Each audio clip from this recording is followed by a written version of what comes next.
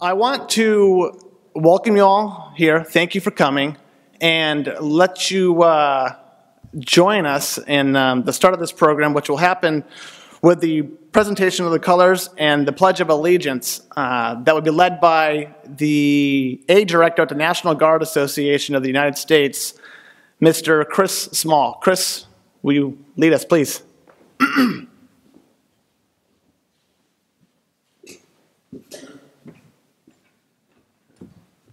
Thank you very much. Uh, Ladies and gentlemen, would you please stand? Present the colors.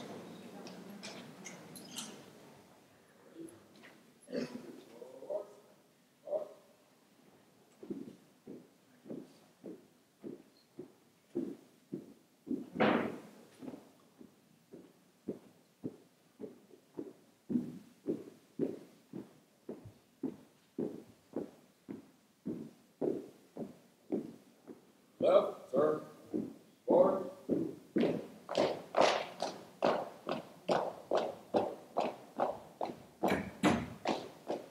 Hold. Freeze, up, hold. Please join me in reciting the Pledge of Allegiance. I pledge allegiance to the flag of the United States of America and to the republic for which it stands, one nation, under God, indivisible, with liberty and justice for all. Carry, colors. Left, turn, march. Forward, march. Thank you.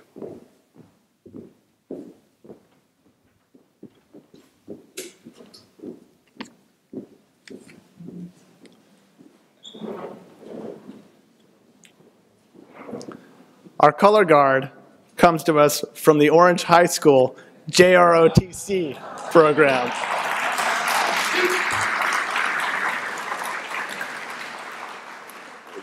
They join us on the majority of our programs and do a fantastic job. Thank you, cadets.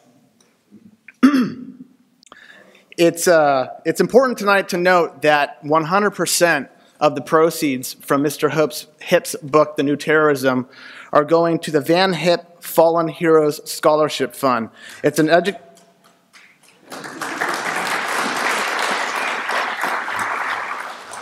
For those of you who don't know what this fund is, it's an education scholarship that will be awarded to family members of fallen guardsmen, and, it's go- and will be administered by uh, the National Guard Education Foundation and Chris Mall, who just led us in the Pledge of Allegiance. Thank you for that, too.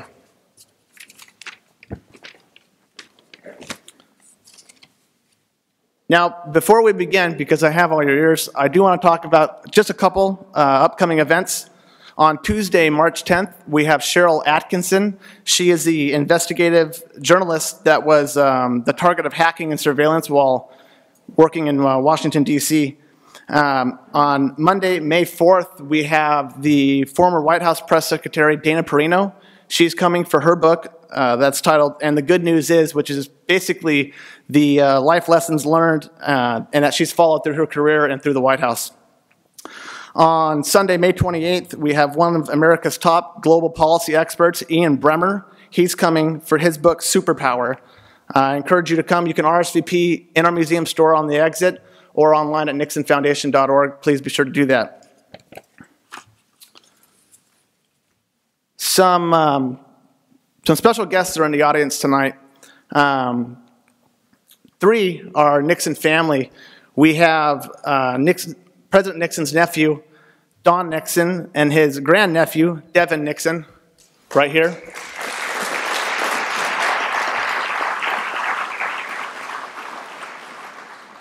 We have the mayor of Yorba Linda, Gene Hernandez.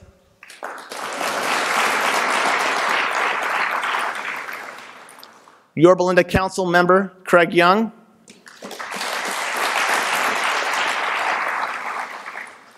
And many of you probably noticed the ladies in red coats um, throughout the East Room and when you entered the library. They are part of our docent guild. Uh, they are a group of more than 150 members. I get to work with them. It's an absolute pleasure. Um, and they make these events tick. One of them uh, is here in the audience as a special guest tonight. He's the longest serving docent. He's done over 3,000 hours since opening in 1990. Bob Lyons is right here. He's with his, his wife, Barbara Lyons. Now, our next guest is someone very special to us. Uh, he is Nixon family and has agreed to introduce our speaker tonight, an incredible supporter of the Library and Foundation, a Nixon Foundation board member, and brother to the 37th president. Ladies and gentlemen, please welcome Ed Nixon.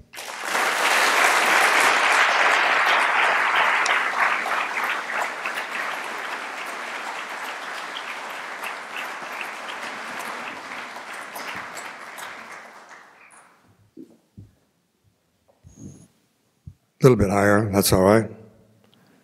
Oh, there you are. Smiling faces. We love to see it here.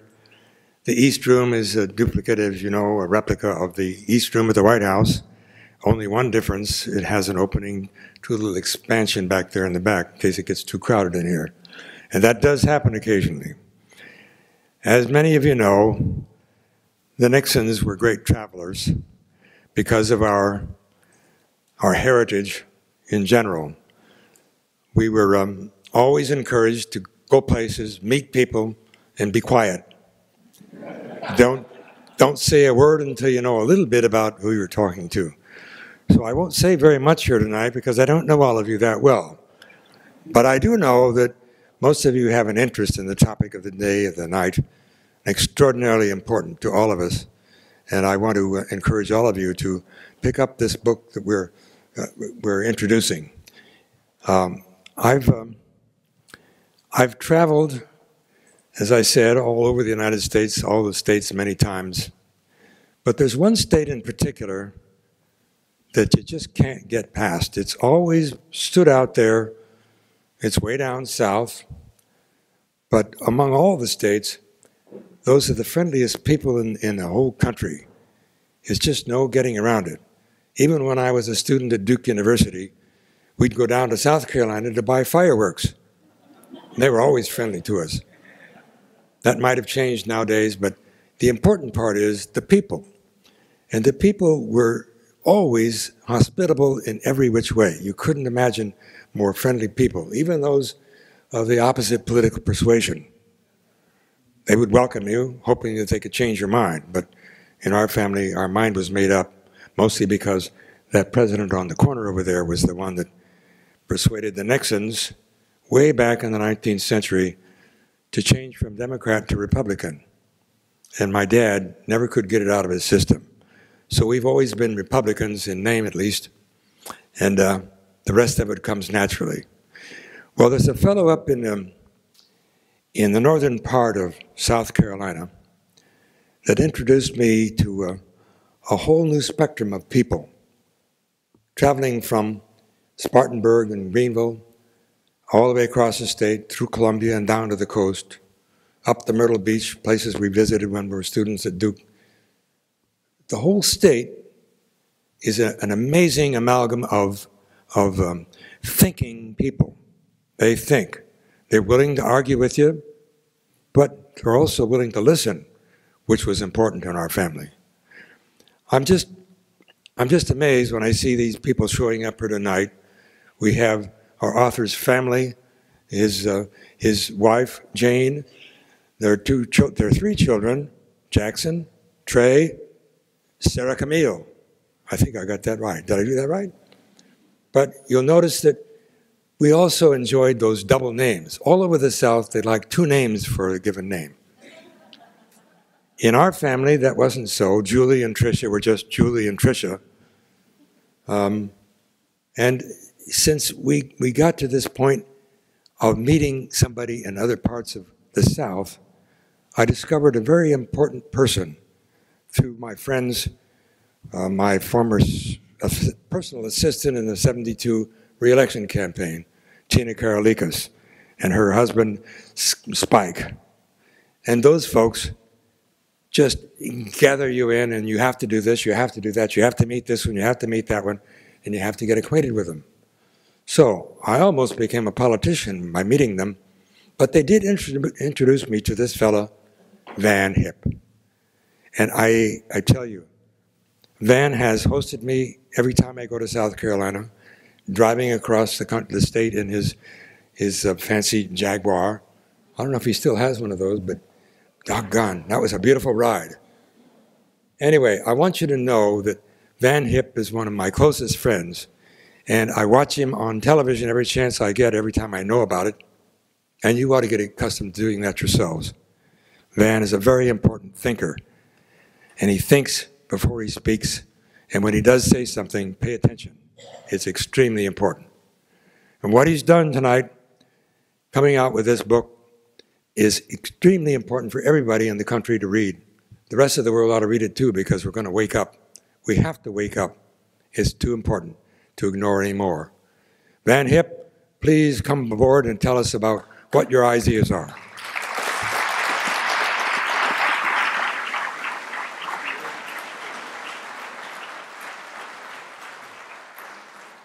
Thank you, Ed. And you know what? I think we've got to get you back down to South Carolina.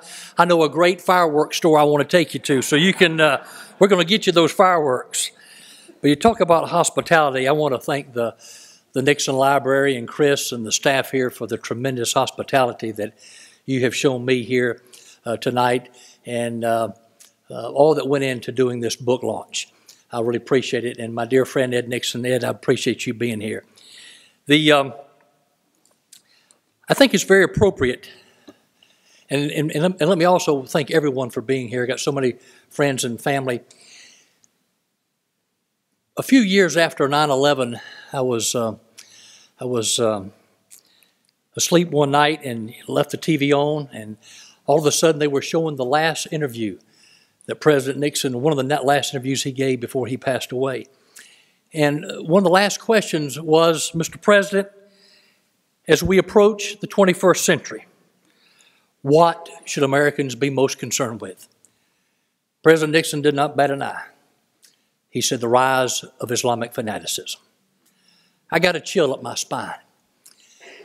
But I should not have been surprised because President Nixon, in one of his last books, seized the moment, wrote, and I quote, when he was talking about um, uh, Islamist uh, fundamentalist, quote, they are motivated by a consuming hatred of the West and a determination to restore the superiority of Islamic civilization by, re, by resuscitating the past.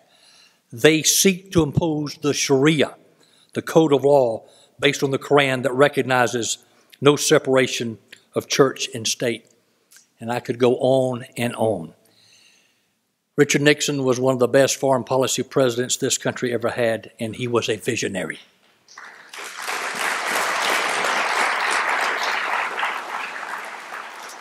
And it's fitting and proper that the launch of this book, The New Terrorism How to Fight It and Defeat It, is being held here at the Nixon Library tonight. Why a book about this? Those of you who know me, for some time I I wrote a lot of articles and, and, did some TV appearances about Iran and North Korea, the real link between those two countries on their missile technology, their nuclear programs. A good friend of mine who had actually worked in the Reagan administration helped me a lot with this book said, You know what, Van? A lot of books on North Korea, a lot of books on, on, on Iran. What we need and what you can do is a book about the totality of the threats to America and what it's going to take to keep America safe. And so that's the project I've been working on the last several years, and that's why I'm here tonight. You know, one of the things whenever you're dealing with uh, um, and, uh, the, the terrorism and, and, and this world on fire that we live in today, you can never take anything for granted. You can't expect the expected. The story is told of Thomas E. Dewey, who back in 1948 was favored in all of the polls to defeat then President Harry Truman. Well, on election day, with the latest polls out uh, predicting a Dewey win by landslide proportions, Thomas E. Dewey went to his wife and gave her a blank check and said, Honey, honey, I want you to go out today and buy the most expensive lingerie that money can buy because tonight tonight you are going to bed with the President of the United States. Well, you know what happened. The and she did. And the polls closed. The early returns came in. It did not look good for Tom Dewey, and it only got worse.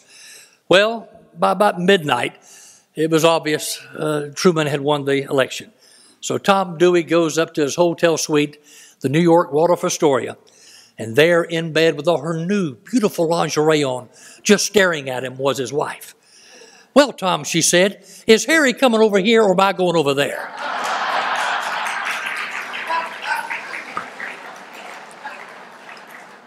You can never expect the expected and don't take anything for granted. Make no mistake, make no mistake, the threat of radical Islam is the challenge of our time. And we're not going to solve it by giving these people a job. The person who kidnapped and beheaded Danny Pearl was a graduate of the London School of Economics. Bin Laden came from a very prominent family. And in the book, what I do and what I want to talk about tonight, I think it's important that we understand the history of radical Islam, what motivates Islamists, and then look at the threats, the real threats to this country, from cyber, electromagnetic pulse threat, things we need to do to secure our border, uh, you name it. And how can we do this to keep America safe and also do it in such a way that we don't go broke in the process doing it? And that's what I want to do tonight. It's important to understand, like I said, the history behind and what motivates radical Islamists. Since the 15th century, Islamic scholars have wanted to return to their version of what they call the good old days, the time of the Prophet Muhammad and the, first, and the caliphate and the first four caliphs. Their belief, their belief, the Islamic nation, the Ummah, would spread its influence until the entire world had come under its sway. Infidels would convert and live as second class persons, something they called dhimmitude, or be eliminated. The caliphate declined and ceased to exist with the Mongol destruction of Baghdad in 1258. ISIS today has declared a caliphate over one third, roughly, of, uh, of, of Syria and one third of Iraq. In their big on dates, September 11, 1683, the Ottoman Turks were defeated at, at the gates of Vienna. Those kinds of things, and that's what they're trying to do. That meant as much to them. That was a humiliating defeat, almost as much as the uh, 1492 the Spanish Reconquista when they drove the Moors out. Present day situation. What do we do? I think that with King Abdullah, the recent events with King Abdullah present a unique opportunity for the United States. We now have six, we now have six um, uh, moderate Arab countries willing to take the fight to radical Islam. King Hussein knew what he was doing two or three days before he died when he named Abdullah the crown prince. He had been the commander of the special forces of Jordan. He had the support of the Jordanian military. His wife is actually Palestinian, and that's important to realize because 70% of the population of Jordan are not Jordanians, they're Palestinians. He was the one guy who could hold it together. And I got to tell you a story. I first met King Abdullah 20, almost 20 years ago when he commanded the special forces. Met him in Washington, D.C., and then later on I was invited to go to the palace. Great story. When you go to the palace, and King Hussein was still the king at the time, by going to the palace, before you see then Abdullah, there is a family tree on the wall hanging up that begins with the Prophet Muhammad and goes all the way to then King Hussein, and you see his, his kids, King Abdullah, and so forth.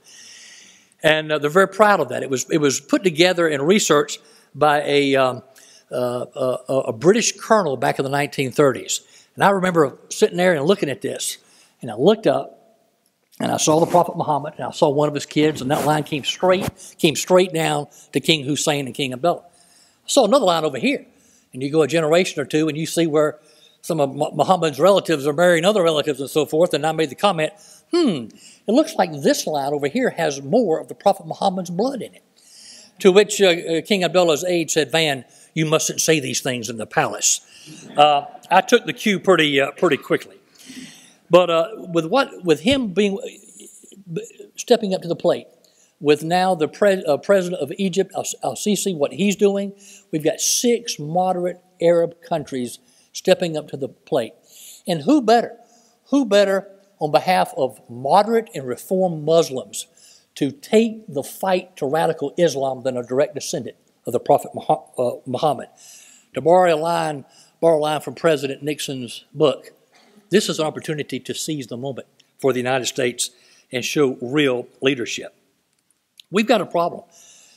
The FBI director testified just a couple of uh, weeks ago that in 49 of the 50 states of the United States right now, there are active files, investigations of people with potential connections to ISIS, open cases.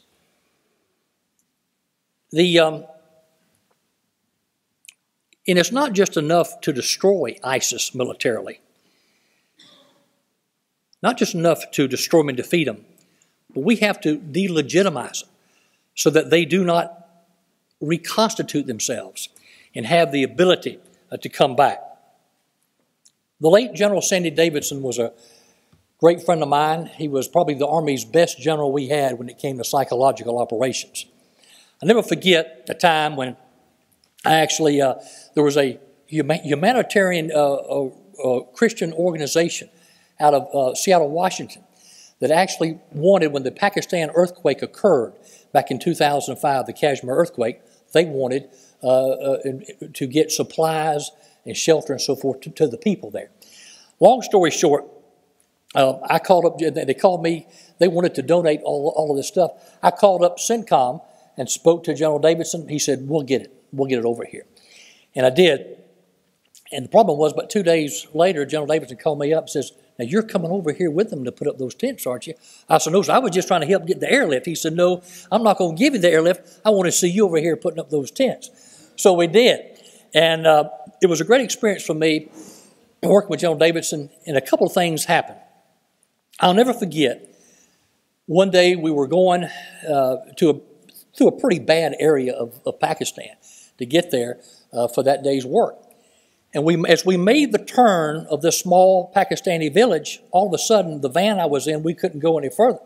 There were about 100 people surrounding our van with signs and chants, and it didn't, I didn't, it didn't look like a good situation.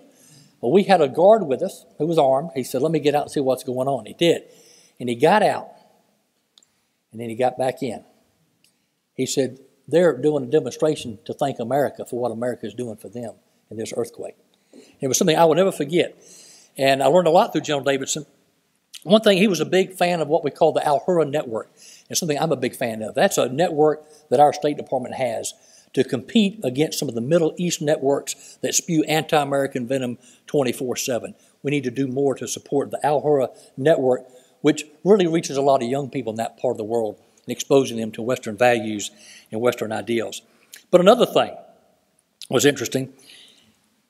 General Davidson was a big fan of a guy named Lloyd Austin. He said, Watch out for Lloyd Austin. He gets it. General Austin is the commander of CENTCOM today. In 2010, we had about 90% of ISIS's predecessors' organization's capability wiped out. General Austin wanted to leave a small residual force to make sure it did not reconstitute itself. President did not listen to General Austin. And now we've got a much, much bigger problem on our hands. The 9 11 Commission said that 9 11 was really a failure of imagination. We keep fighting the last war. We keep responding to the last terrorist attack. We've got to get ahead of the curve. ISIS is a cancer that is spreading. Radical Islam is a cancer that is spreading. The CIA estimates that ISIS has about 31, 32,000 troops. When you talk to the Kurdish, uh, Kur, uh, Kurdish Peshmerga, who's been fighting them, and others, some of the estimates go as high as 200,000. It is a cancer that is spreading. You have to get, you have to think outside the box. In my book, I talk about the country of Niger, which has one of the world's largest uranium reserves. What can uranium be used for? To make nuclear weapons. And in my book, I talk about the need to work with France because they got their independence from the French in 1960, the need to work with the French to get those uranium reserves and deposits out of Niger. That's in the book. Two weeks ago, guess what happened? Boko Haram, a direct, uh, and basically an indirect affiliate of Al Qaeda, and a terrorist organization that is trying to mimic and copy ISIS tactics, began border attacks on Niger. We have to think outside the box and get ahead of this. What I'd like to do, too, is talk about some of these threats, things that we can do, and then also talk about how we do it, like I said, in such a way that we don't go broke in the process. Border security is so important. The FBI director, Robert Mueller, said in 2011 that 59,000 people were apprehended coming to the United States from countries other than Mexico. They included Yemen, Somalia, Iran, Syria, and I can go on and on. 59,000 apprehended. My question where are the ones we did not apprehend? Where are they today, and what are they doing in America? That's why border security is so important. And there are things that we can do to improve border security. The Department of Homeland Security Inspector General several years ago looked at the sensor technology they have to detect people coming across, as well as bad things, bad substances, such as radioactive substances come across. They found 96% false alarms. The United States military has some great sensor technology with an un, unattended ground sensor program.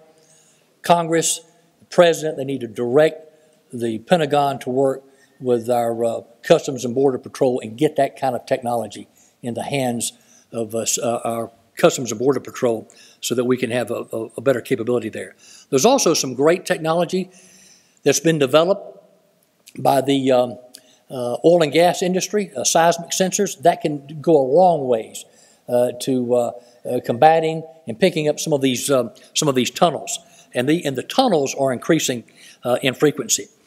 We saw recently the situation with um, France and the European with the, with the, that the radical Muslims get mad about because they're doing a cartoon of Muhammad. Do you remember a few years ago the Danish cartoonist, Kurt Westergaard, who called for the assassination?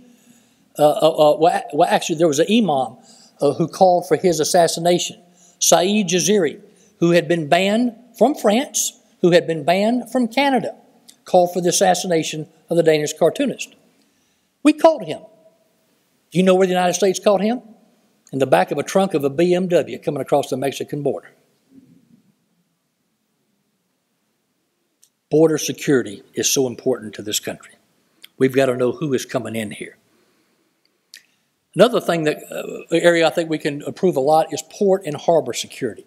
I remember several years ago a report watching on television where it was, uh, I think, uh, British intelligence had reported that uh, uh they had indications that Al Qaeda had uh, gotten underwater IED devices from the North Koreans.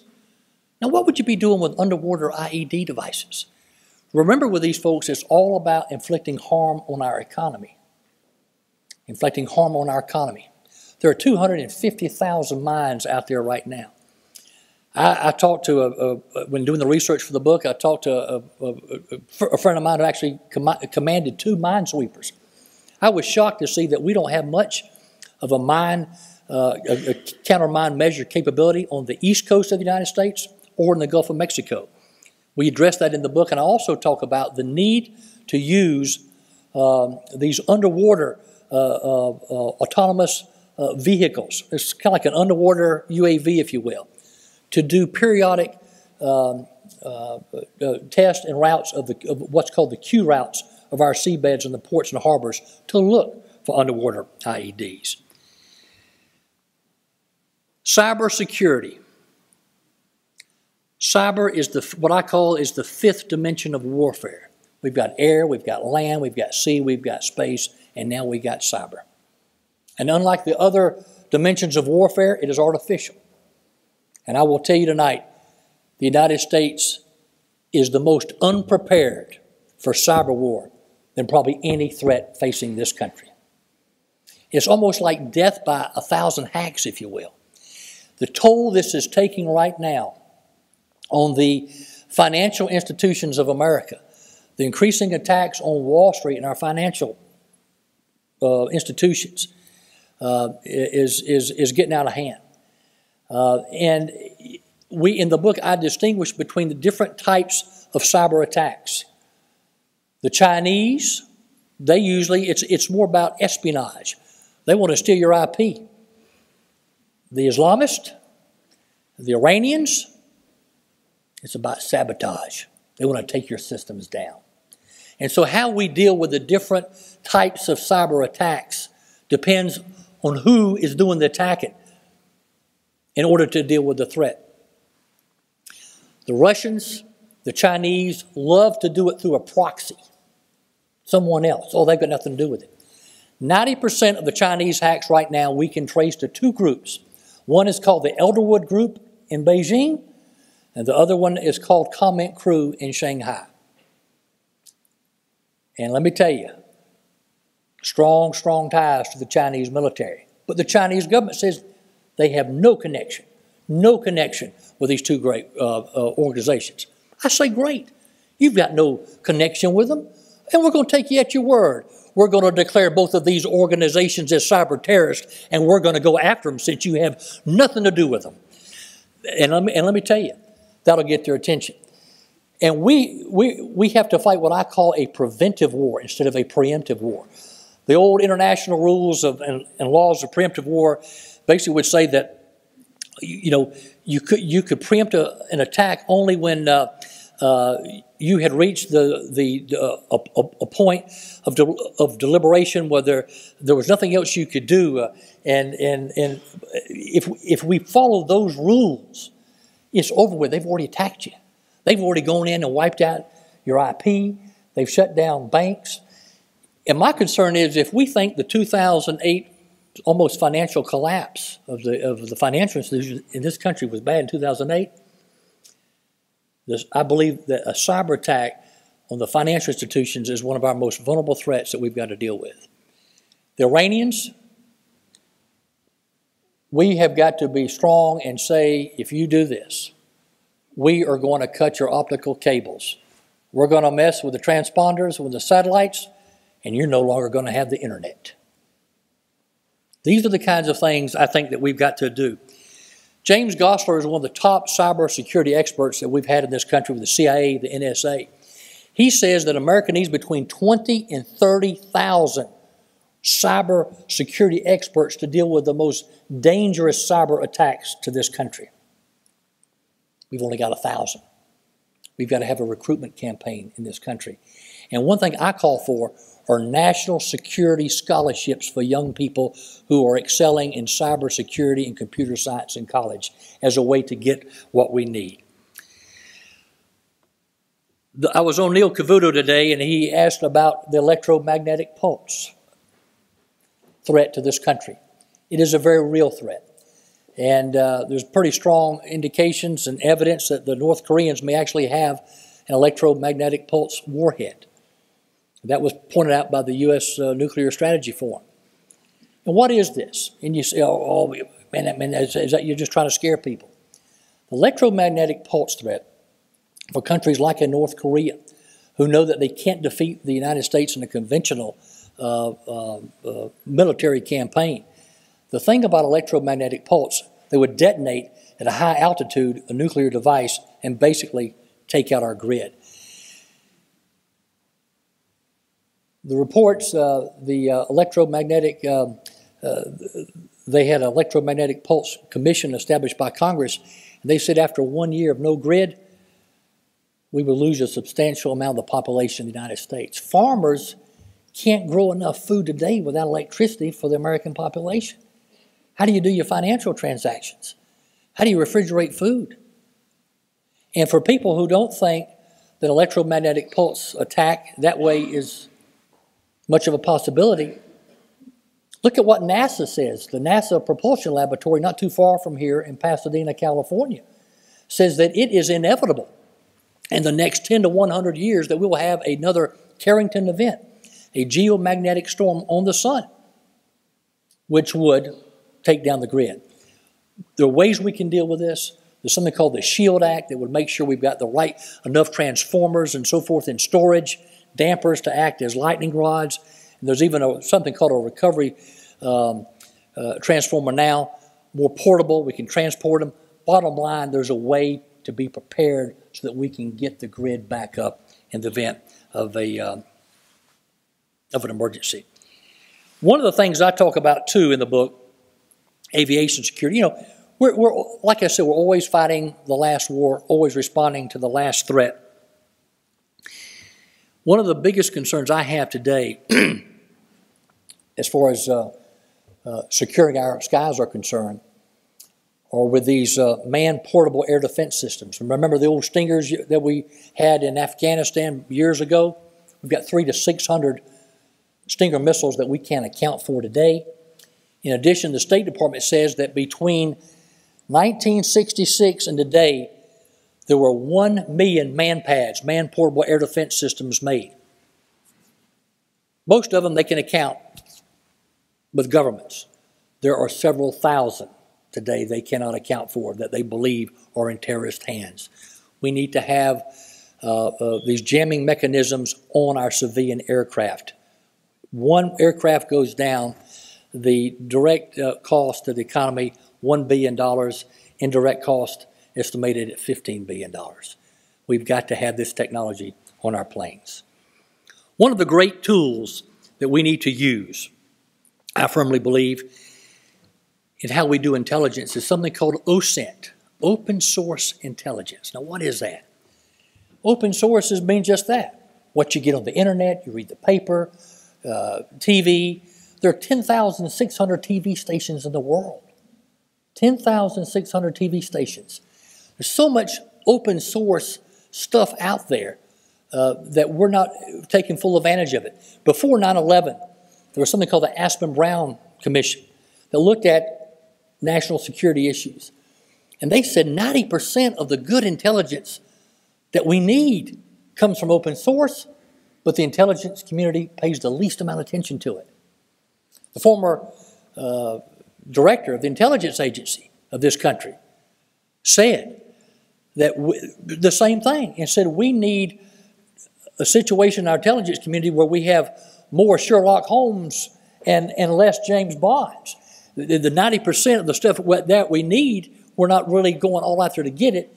And there's that 10%, the more clandestine stuff that's, you know, the, the James Bond stuff. Well, I tested this, and I talk about it in the book. I went to a university. Now, when you go to Google, Google only gives you the most popular search. It's not a deep dive, the most popular search. I went and, and got a university that had search engines in other languages. And guess what we found in Farsi in 2012?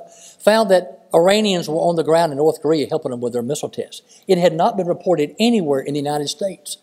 Also looked in Japanese and found the uh, Kyodo News Agency uh, uh a story verifying and validating that.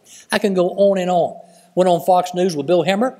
Bottom line, Bill Hemmer said, I've not heard this anywhere. I think this is the first time we've heard this in the United States. Open source. I'm a public citizen. I was able to get that. We need to take advantage more of open source. Missile defense. Missile defense ties into so much of this.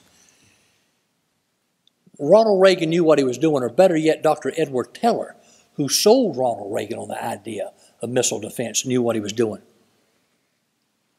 So many of these threats today,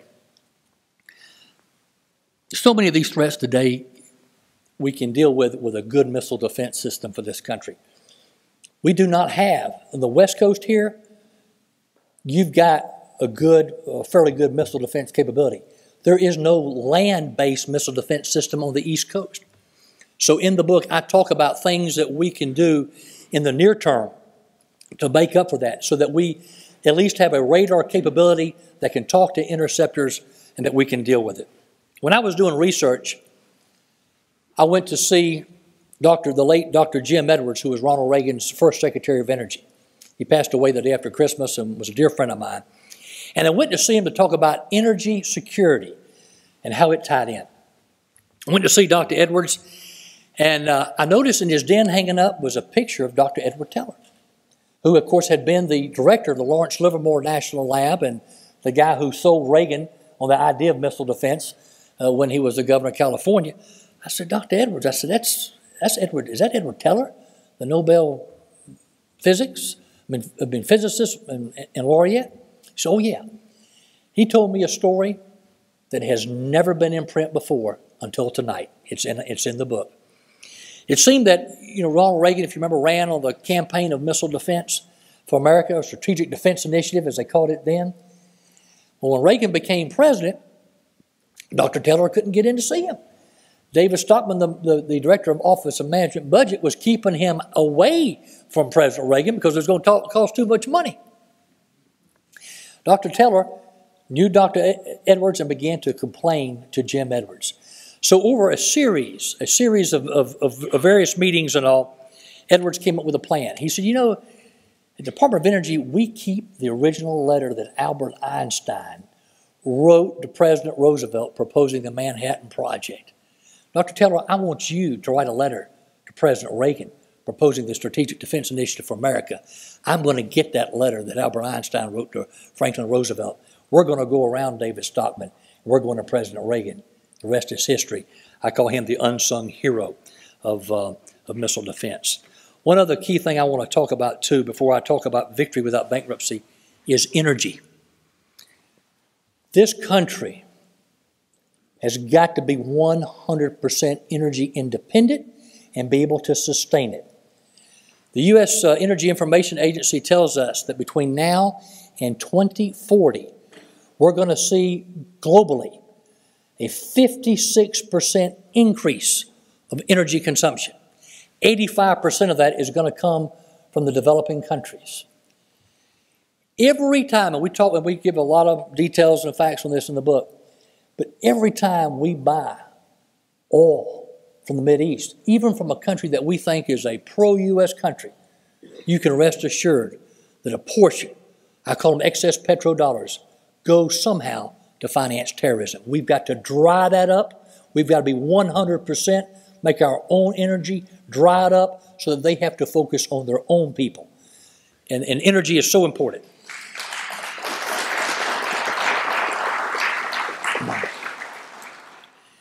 And I also talk about, I talk about how we, um, um, as far as energy is concerned, nuclear, the nuclear issue. We're at a point here in about, if we're going to be 100% energy independent today, we still got to have 20% of our energy coming from nuclear. The problem is, uh, the 1% of our nuclear reactors today have been built in the last 20 years. If we built 100 new nuclear reactors between now and 2030, that would just be enough to replace what we got. We've got to build more nuclear reactors. I'm telling you, if we don't, and with that, with what we're going to see coming with the worldwide energy demand that's coming, and the upward pressure it's going to put on energy prices, we've got we've got to be 100% energy dependent and deprive the terrorists of those excess petrodollars. All right, so how do we pay for all this? I call it victory without bankruptcy. Great story. When Franklin Roosevelt was president in his first term, he, uh, he cut the Army budget by about 51%. Well, guess who the, the uh, Chief of Staff of the United States Army was? None other than, than, uh, than Douglas MacArthur. MacArthur got into a, a, discussion with the president and said basically to the uh, effect that I just hope that when America loses the next war and a bayonet is in a young American troop, and the enemy's got his foot on his neck, and he's and he's and he's and he's uh, cursing one man. I want it to be Roosevelt and not MacArthur. He said that, and then he realized what he had done, and he offered his resignation to the president. Franklin Roosevelt said, "Douglas, don't be foolish. You and this budget have got to get together." And we talk about we have a 585 billion dollar budget. There are things that we can do to be more efficient, so that we can uh, uh, uh, pay for things that we really need in the war on terror and to win. It's, but my feeling and my concern is that we've cut in all the wrong places. When we've taken our army down recently to pre World War II levels, that sends the wrong message to bad people. Some of the things that we can do, I talk about how we can uh, change contracting in the military. Uh, the um, the government, we've a lot of reports have shown that between like 2001, 2008, our major acquisition programs, 300 billion dollars over because of the way contracting is. They keep adding uh, with the with the cost plus contracts. They're incentivized to just keep adding, just keep adding stuff, keep adding. If you have a prospective type system where you know I've got to do it for this amount, and the contractors are incentivized to get it done on time, they make their profit, we can save a lot of money.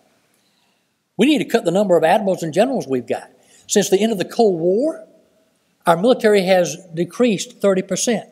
The number of three and four star ad- admirals and generals has gone up 19% with all that bureaucracy. We've got more admirals today in the U.S. Navy than we got ships. There's a way to save some money. And I can't wait to some of my Admiral General buddies read that part of the book and want to talk to me. But uh, the National Guard, I'm glad that Chris Mull is, is here tonight and what we're doing with the National Guard Education Foundation.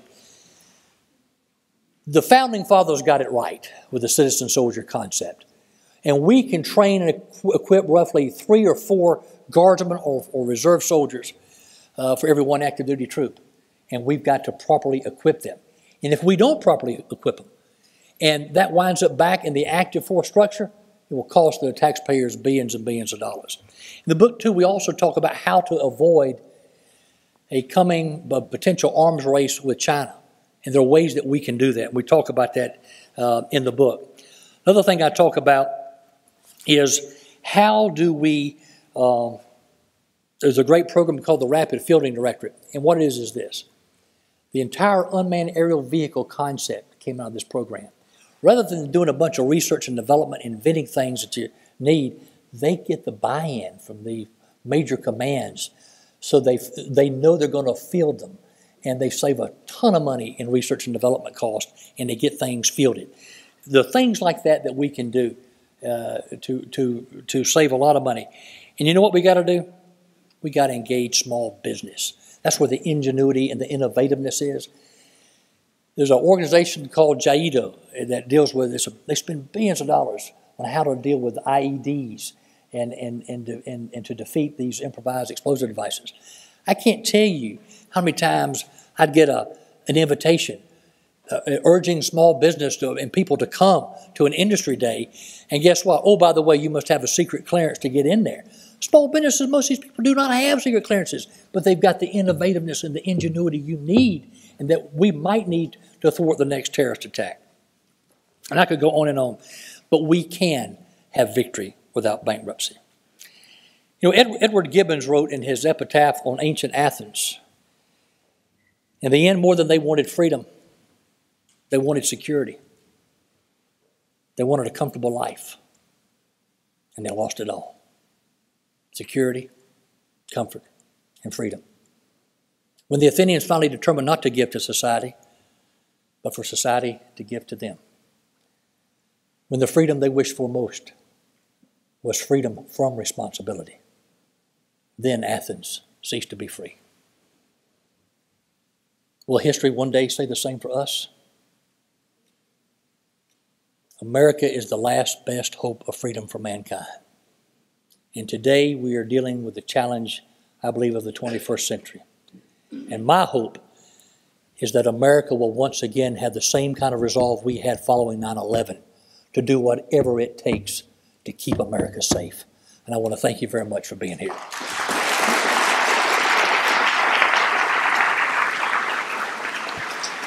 Thank you, Mr. Hipp.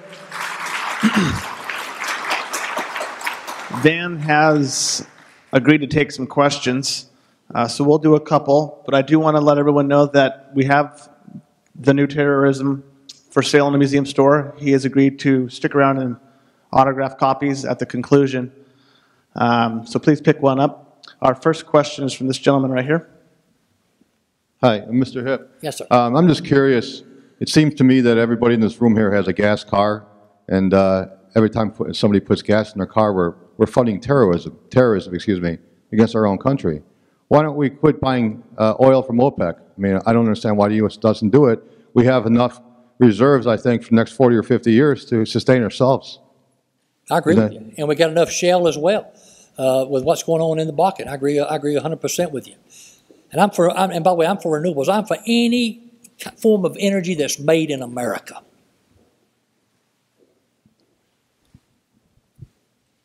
Okay, let me get over to our next one here.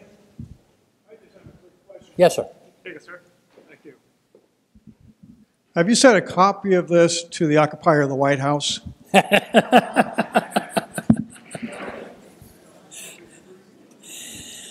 And, and, and I got to say this to not call what we're dealing with radical Islam is the equivalent of, of would be akin to Franklin Roosevelt in World War II calling Nazi fascism German aggression.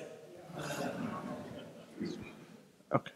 Our, uh, our next question is coming from William. He's 20 years old. So, First, thank you, sir, for speaking this evening. My question for you is beyond the scholarship to increase cyber uh, security for young people, when I look at my culture, my friends, people my age, they have a very negative view of the military and especially of like the armed forces. And I'm wondering, what are some ways that you would think of increasing the public image of the military and attracting more advanced minds?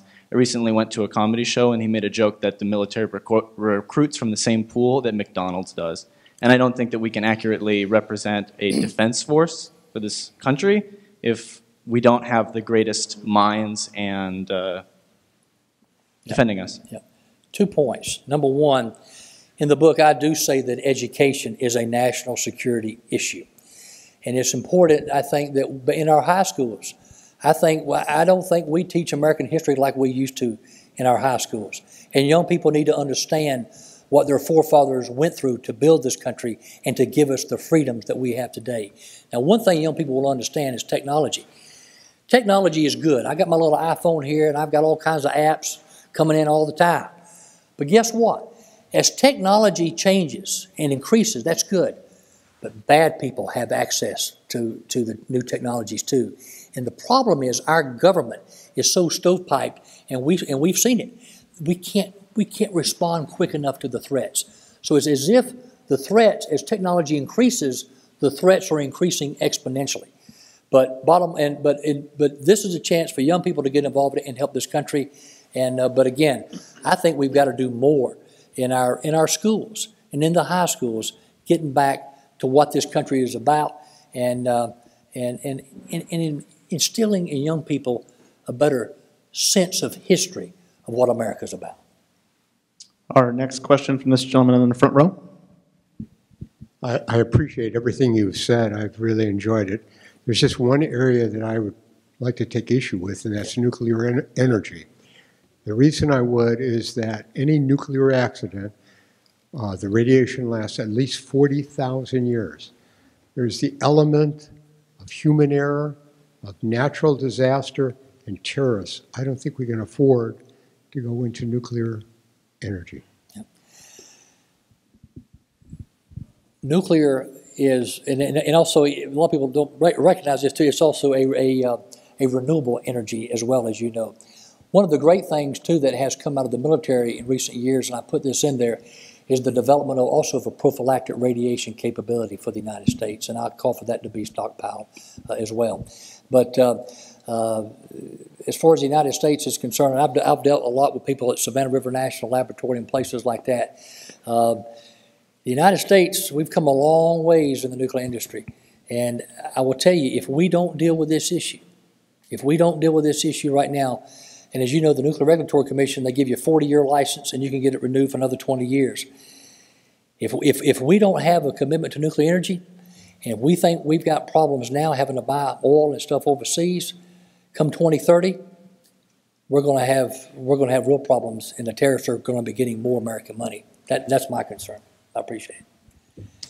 We'll take uh, one more question, and then we will move into the front lobby for the fi- for the book signing.